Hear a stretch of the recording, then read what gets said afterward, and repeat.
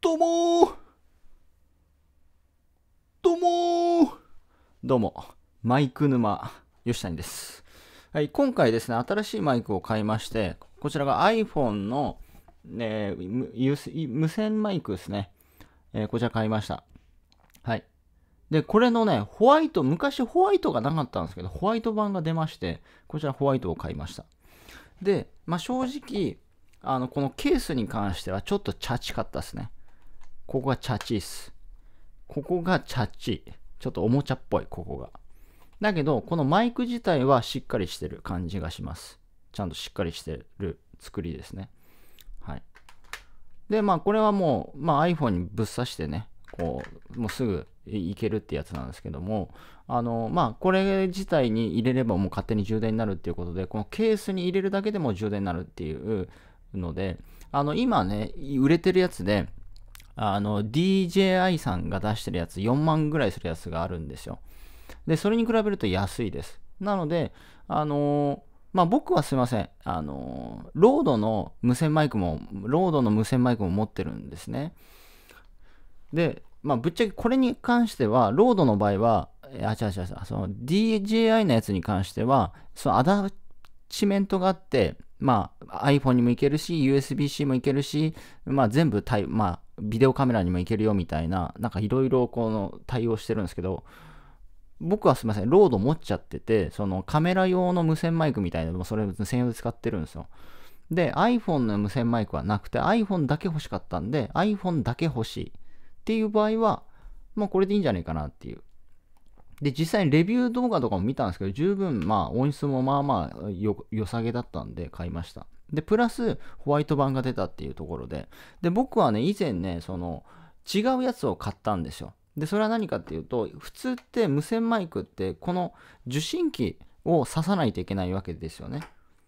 iPhone に、まあ、どこの機種も大体は、まあ、DJI さんもそうだと思うんですけど、なんですか。まあ、こうやって挿さないといけないわけですよ。こうやってね。でも、あの、挿さなくていい Bluetooth だけでいけるってやつを買ったんですよ。で、それは、まあ、メリットとしてはこれがいらない。Bluetooth でもうすぐつなぐので、これしか必要ないというのがメリットなんですけども、ただデメリットとしては専用のアプリを使わないと対応していないっていうところで、で、しかもちょっとね、その専用のアプリが落ちたりとか、まあ無線が切れちゃったりとかするっていう問題がありまして、ちょっとまあ気に入ってたんですけども、まあそれも使います。使うんだけども、その、なんすかね、対談とかしてる時に切れちゃうとめんどくさいというか嫌なんですよね。自分一人だったら別にいいんだけども、対談してる場合はそもそも切れちゃいけいしんどいんで。そう、だからまあ用途に使い、用まあそれはそれで使いますけど、用途によって使い分けしようかなっていうとこですね。だ多分メインはその iPhone で対談とか撮る場合はこれがメインになると思います。しかもこれはまあもちろんこれでいきますので、その専用アプリとか不要です。まあ純正のカメ iPhone の内蔵カメラのアプリでもちろん録画でができると。で、あとはこのね、あの、これちょっと見てほしいんですけども、ここにね、まあ、ジャックがついてます。なので、まあ、挿してここから充電しながらっていうのもできます。で、あとはノイキャンもついてて、ノイキャンはボタンを押すだけです。ここのノイキャンのボタン、ここのボタンを押すだけで、あのノイズキャンセル機能もつきます。なので、風がちょっと強いなっていうところは使っていただくといいんじゃないかなと思います。で、あとは、まあ、ただね、この風防がダサいんですよ。風防がダサい。この風防が。ちょっと風防つけてみましょうか。風防をつけると、なんかね、ダサいんですよね。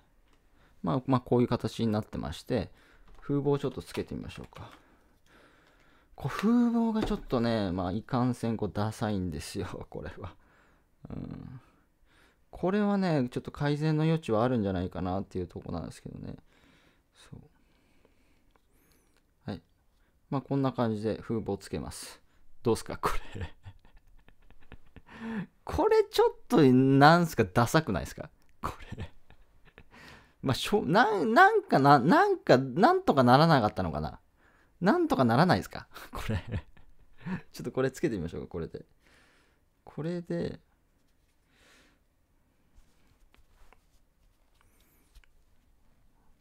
うん、もうちょっとこここら辺つけようか。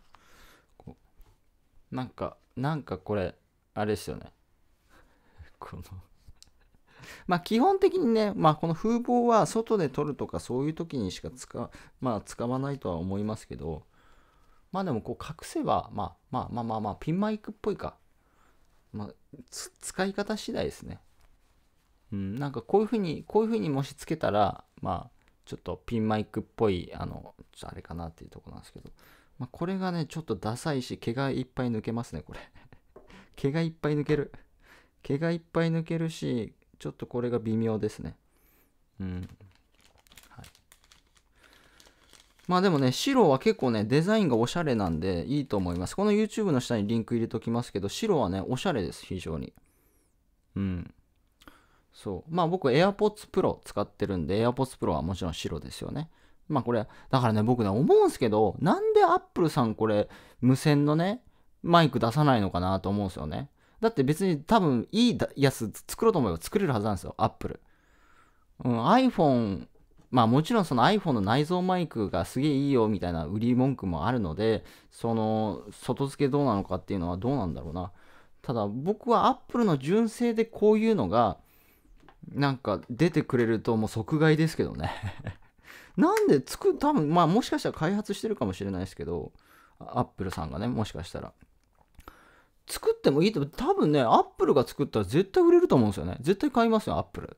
で、今、アップルが純正でそれを無線マイクみたいなの出してないので、まあ、ね、この AirPods が無線マイクというか、これが Bluetooth なんですかね、まあ、音声通話にも聞こえるっていうところももちろんあるんだけども、なんかその撮影用のマイクですよね、無線の。